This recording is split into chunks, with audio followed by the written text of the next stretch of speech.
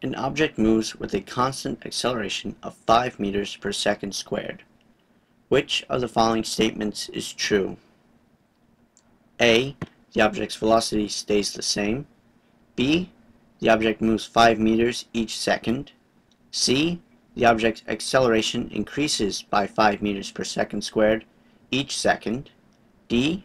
The object's acceleration decreases by 5 meters per second squared each second or E, the object's velocity increases by 5 meters per second each second.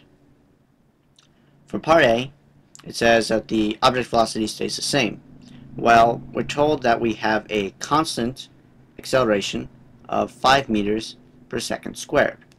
If that's so, our acceleration dictates that our velocity is changing by the first kinematic equation, v equals v naught plus at.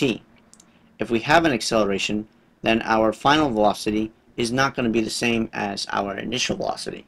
So choice A is not true. Now B says the object moves 5 meters in each second. So to determine how far it would move, we're going to use the third kinematic equation, x equals x naught plus v naught t plus 1 half a t squared. In general, we're going to say that our object had an initial position of 0 meters and an initial velocity of 0 meters per second. So we can cancel out x naught and v naught and we're left with a position of 1 half a t squared.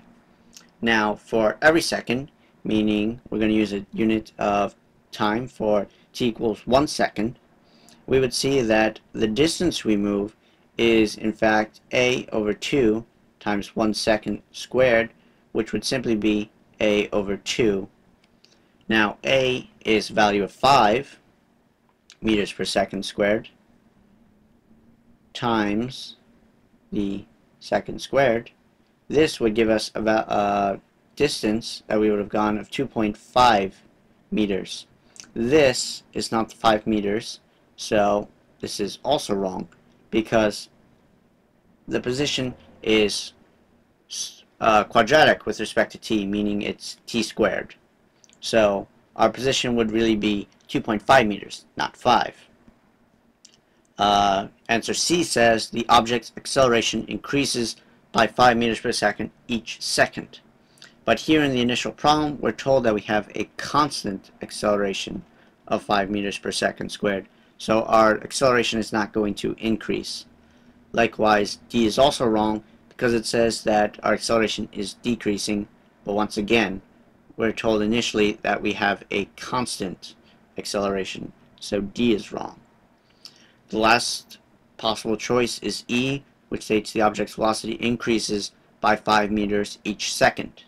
If we return to our first kinematic equation, we have Vf is equal to V naught plus AT.